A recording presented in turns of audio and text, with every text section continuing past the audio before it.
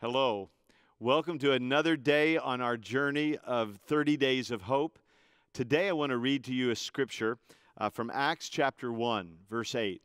It's a well known scripture that speaks of our calling to be witnesses for Christ in the world. The Bible says in uh, verse 8 of Acts chapter 1, it says, But you, these are the words of Jesus, to his disciples, but you will receive power when the Holy Spirit has come upon you, and you will be my witnesses in Jerusalem and in all Judea and Samaria and to the end of the earth.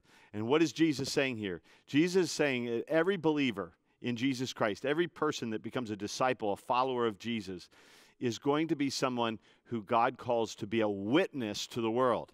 Now, what is a witness? A witness is someone who gives evidence to a fact. In other words, they're, they're able to say, hey, um, I know that this is true because I saw it with my own eyes, or I experienced this, and so I bear witness to this fact.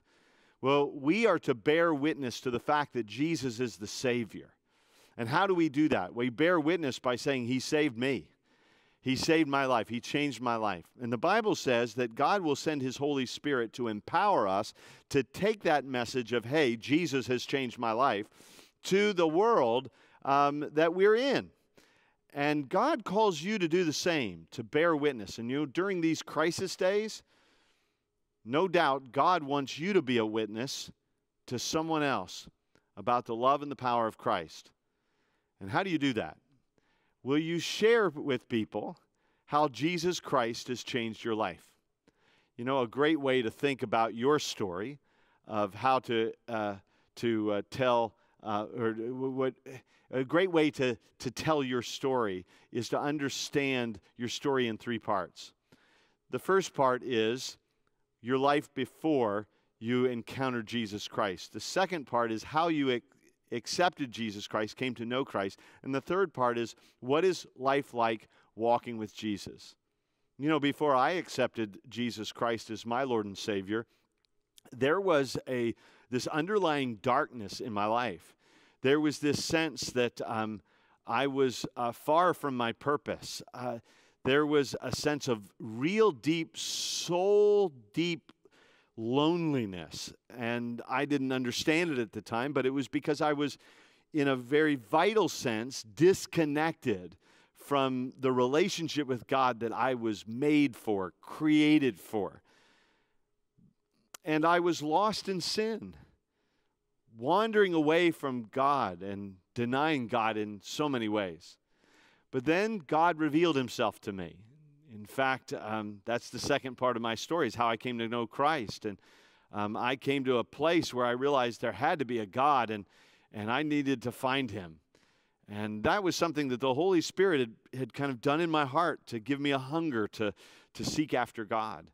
And then he got me in the got into my hands a Bible, and I began to read that Bible and discovered from that Bible that that the God of the Bible was the answer to to, to people's questions. And I wanted to understand that better, and I found a, a friend who shared with me um, how I could understand what the Bible was saying, and and uh, this this man shared with me how uh, Jesus Christ came as the Son of God fully man, fully God, to die on the cross for my sins, to rise again to be my Savior, and that if I repented of my sins, trusted in Jesus as my Lord, and accepted Him as my Savior and Lord, why then I would be made right with God, forgiven of my sins, have heaven as my home, and I'd be able to walk with God every day. And so I gave my life to Jesus. I repented of my sins. I turned to Christ. I accepted Him into my life, and I began to follow Him.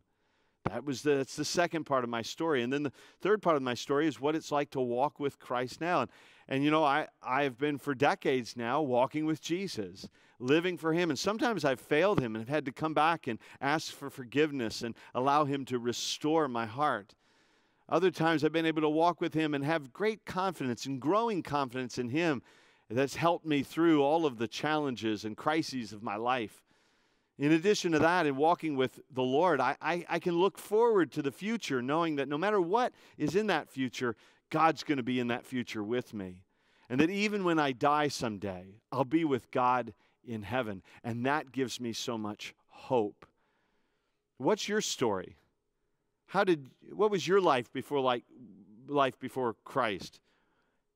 What was your life like when you came to know Christ and what's life like now as you walk with Christ? Share that with somebody. Share that. And if you're somebody that says, "You know what? I don't even know Christ as my savior and Lord." Then maybe today is an opportunity for you to think, maybe I need to accept Jesus as my Lord and Savior so that I too can have a story of redemption and faith in Christ. Let's be witnesses to our whole world of what Jesus has done for us.